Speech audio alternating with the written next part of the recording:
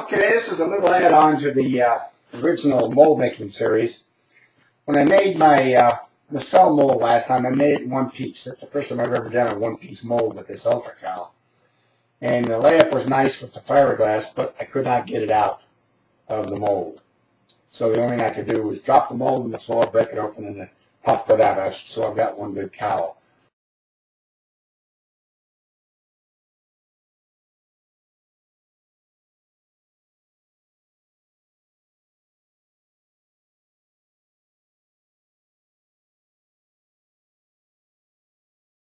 So I'm doing this time what I should have done the first time.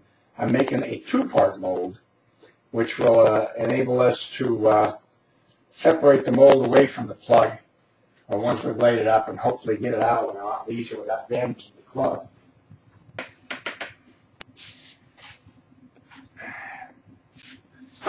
Nothing you haven't seen before, so I may edit out some of this just for brevity's sake because you've seen me uh, mix before and all that, and, and we're going to slap on the. Uh, the only difference here is you notice I've got the foam um, weather stripping paper on the bottom as before, but this time I've got another piece that bisects the cowl uh, exactly in half.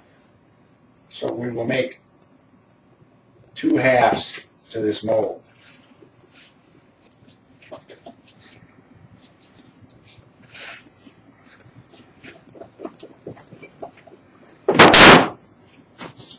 Where's my weights?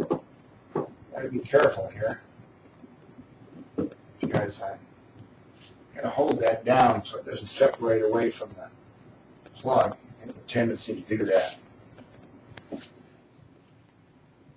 One thing I like about uh, working with this Ultracal is when you make a big boo-boo like I did on the first uh, mold, it's it's fast to get to make a correction and get it done. Um, it's been an uh, hour and 42 minutes since I started um, this one half here, and I've got um, both coats on. It's cured and ready to go. So all I got to do now is pull off the parting plane here.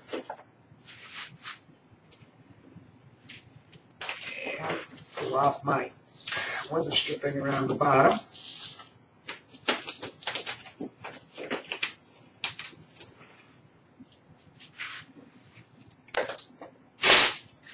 Give it a shot of air. And it comes right off. I didn't even remove my glue uh, from here. Now what I'll do is uh, take this mold and um, with my Dremel tool put a couple notches in here that will locate the other half when I put them together. Then we'll slap this back on here and uh, work up the other side. Okay, all we got to do to put those locating notches in is a carbide tip in the Dremel tool.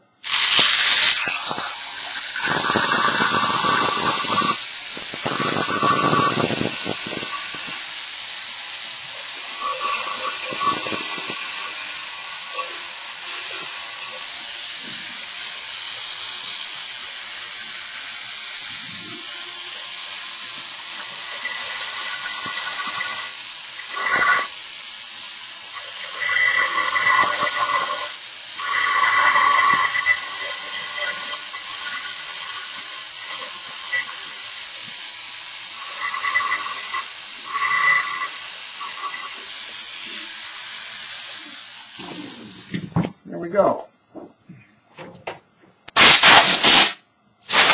See there? Got a few little notches in there. So now when we put the new one in, it will form a key in there. So when we put this together, then everything matches up exactly as it should. Okay, so notches are cut, so it's time to start uh, on the second half. So we'll just slide first half back on here. There you go. Nice tight fit. Then uh, at that point, I'll spray some more PAM on here. We'll lay up the mold on the other side of this. And then as soon as that's cured, we'll get back and uh, see how it comes apart. Okay, it's been a little over an hour since I put on the last coat on this other half, so let's break this off of here and see what we got.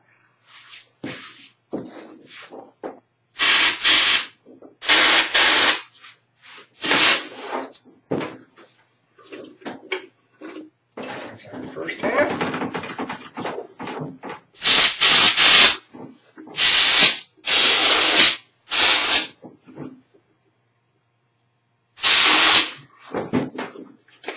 And there's our second half. Ooh, that was easy, wasn't it? Okay. Now you can see the little, I think you can see the little keys that are in here. So, if we set this up, like so, like so,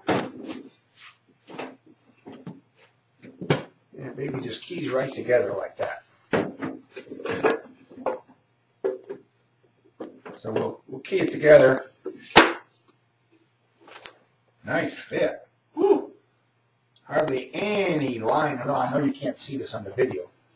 That is a tight, tight seam. Very good.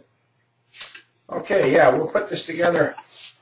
What will happen is uh, I'll wax up the inside of both halves, and then uh, we'll slap this together. I'll wrap a bungee cord around it and uh, to hold it together. And then uh, we'll put a little clay and just a little bit of seams in there. I think might need a little bit of clay, not much. And uh, then we'll throw on some of that Safe Lease 30 and uh, lay up a mold or lay up a cowl and see if this one comes apart with uh, a little more ease than the last one did.